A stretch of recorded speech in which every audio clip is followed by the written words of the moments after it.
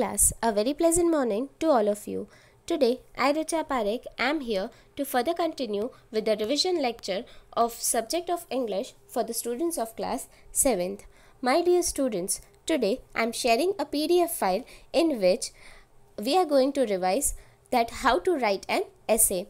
So in order to write an essay, dear students, I am sharing a PDF file in which the activity number 10 of unit number 5 that means a paragraph stating the facts that you have discovered after visiting a market. So you can write a paragraph two or three paragraph regarding it as a part of your essay. And the very next essay which we are going to study is write your experience about you what you have write your experience you had when you visited a place you have never been to before.